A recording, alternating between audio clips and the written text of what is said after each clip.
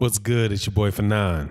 Okay, I'm going to talk about one of my favorite subjects I haven't talked about in a while and didn't get a chance to make a video about after Tevin Farmer beat Billy Dib for the IBF. I do believe that that was for the IBF 130 pound title.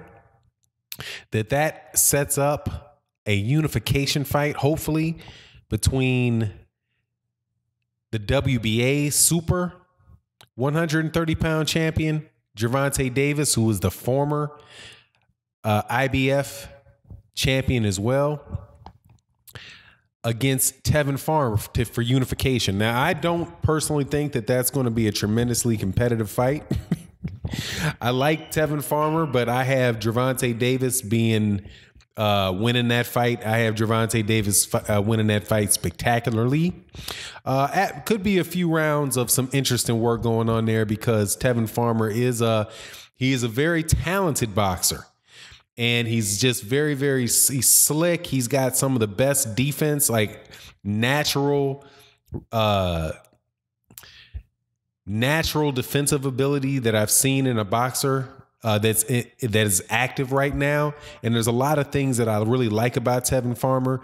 I just don't think that Tevin Farmer has the power to keep Gervonta Davis off of him.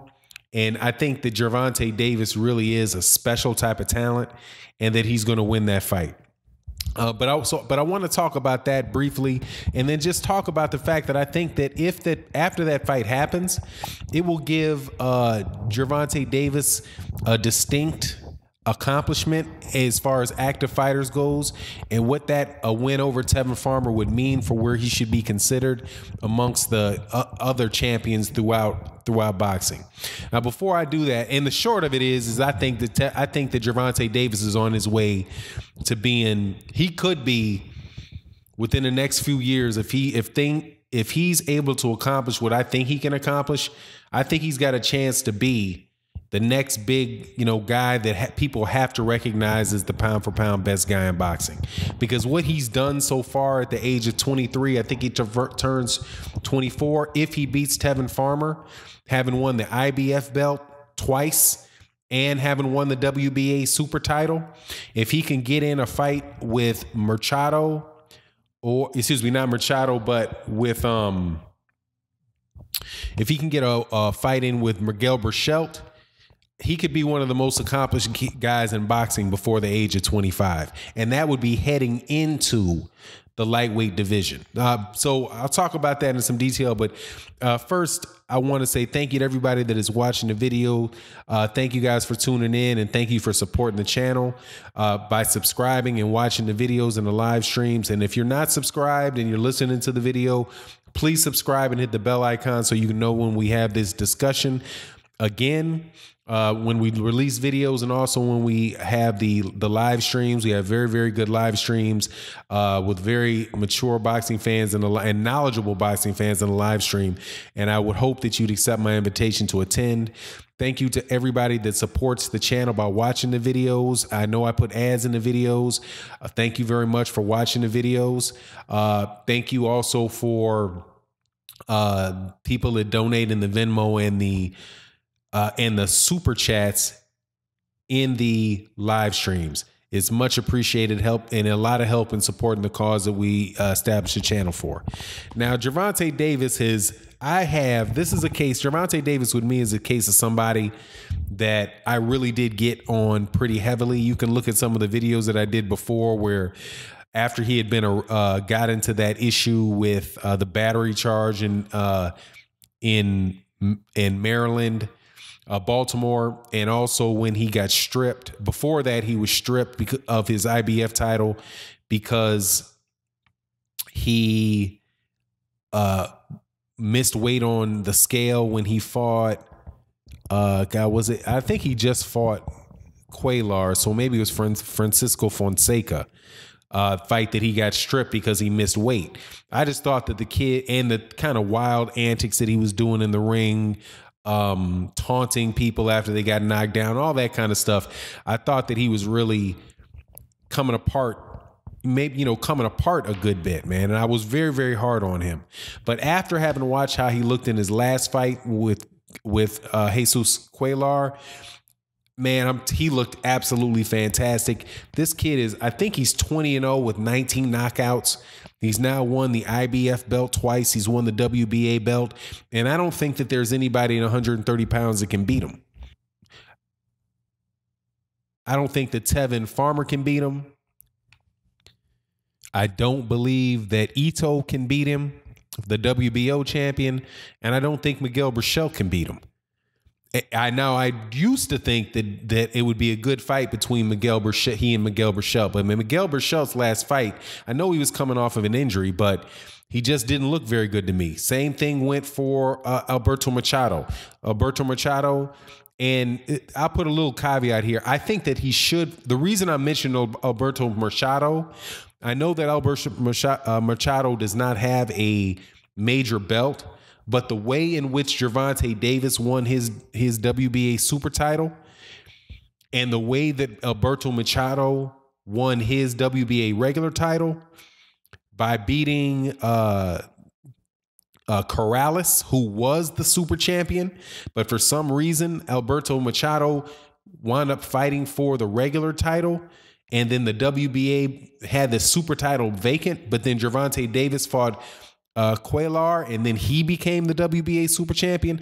I didn't like how that went down. I made a video about it. I don't think that's Gervonta Davis's fault, right? But I think it's a real thing where Gervonta Davis has business to settle with Alberto Machado before I can just full fledged say, yeah, he is the man for the WBA title because you know, and I don't think that in order to say somebody has the has the belt, you can win a vacant belt for well for belts other than the heavyweight title, right? I mean, the heavyweight title because fighters do move up.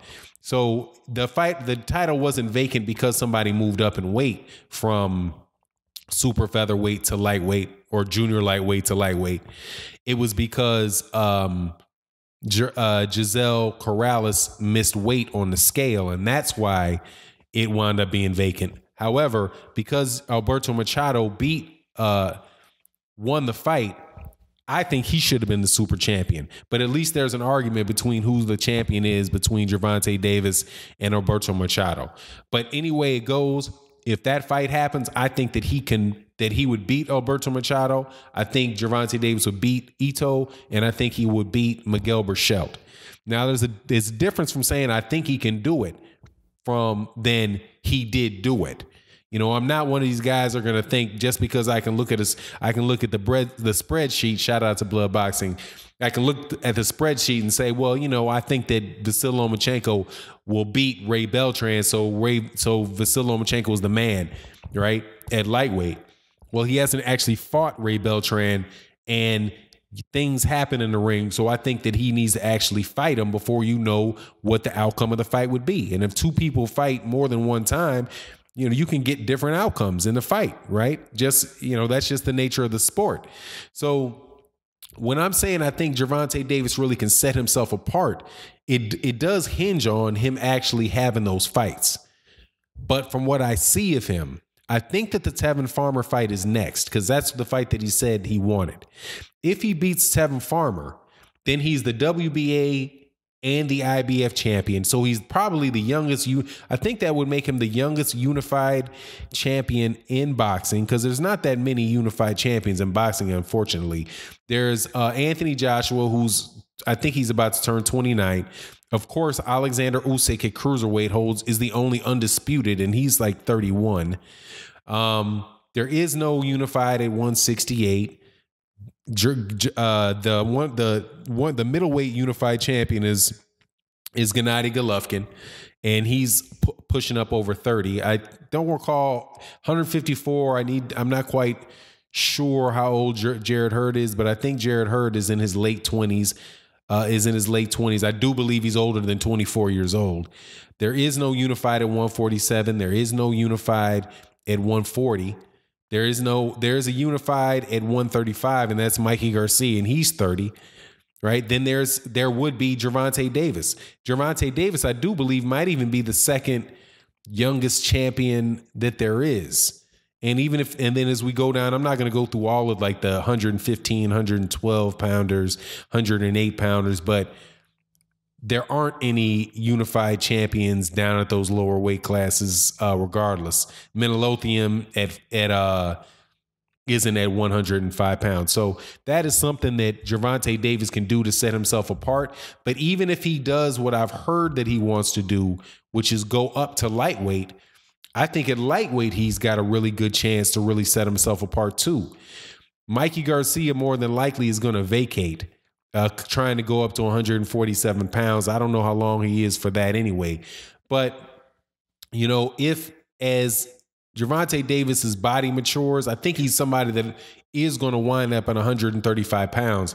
If he can unify at 130 pounds and then go up and win a belt, uh, whether that be the WBA belt uh, or more than likely, yeah, if he can win the WBA belt over Lomachenko, he's number one pound for pound flat out or if he can get one of the belts that is going to eventually be vacated by Mikey Garcia, man, that would be, you know, he would, and hopefully it's vacated by Mikey Garcia and then won by somebody else, right? Then he can actually win a championship at 135. Man, the future looks bright for him. And if he does something like that, that dude's got to be considered. At that age, um, with that knockout ratio, with that level of talent, he's going to have to be considered one of the pound for pound best guys in boxing. Right now, he's not getting that respect because of, you know, because though he has won a champion, he won his first belt off Jose Pedraza, off, off Pedraza. And then he won the second one off of Cuellar. So he didn't actually win his belts off the best guys. But when you unify, you get up over 20, 23, 24 fights undefeated, and with a bunch of knockout ratings, you move up in weight class and you beat somebody up there.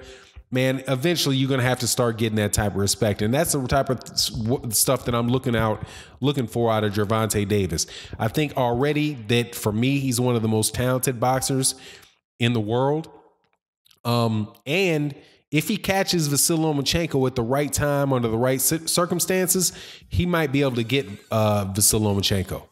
Vasyl, that hand speed and that punching power is something to be worried about from any boxer, especially if if he if he matures. So we'll see. And with that, I'm out. Peace.